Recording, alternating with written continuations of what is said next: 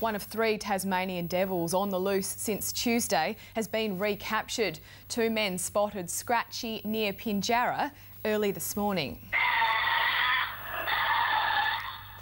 But he didn't appreciate being held in a bathroom. Living up to his name, he scratched his way through a plasterboard wall. The devils escaped on Tuesday after trees smashed into their enclosure.